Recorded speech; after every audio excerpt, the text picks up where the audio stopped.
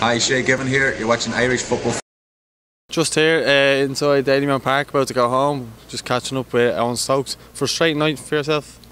Yeah, I think uh, we've had a few of those nights now this this year where we've uh, played teams off the park. Now I don't think you'll get a more one-sided game than it was tonight, but um, yeah, very frustrating. We think we score one, we score three, four, as many as you like, and it's frustrating. All the lads are frustrated. But we'll go again, big game on next Friday against Rovers, and hopefully get a result there now.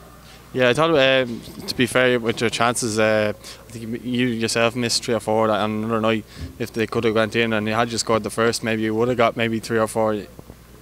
Yeah, look, this is football. Like like I said, you get chances and uh, you do have to capitalise them, especially in this league. You know, um, we could have we played teams and it's gone the same way where we've got good chances and they've gone nicked one one there and sat in for the whole game like the way Limerick did today and they've come out with three points instead of one point. So I think going forward now we do have to take our chances and uh, win games now. All right. Well, uh, thanks for your time and best luck against.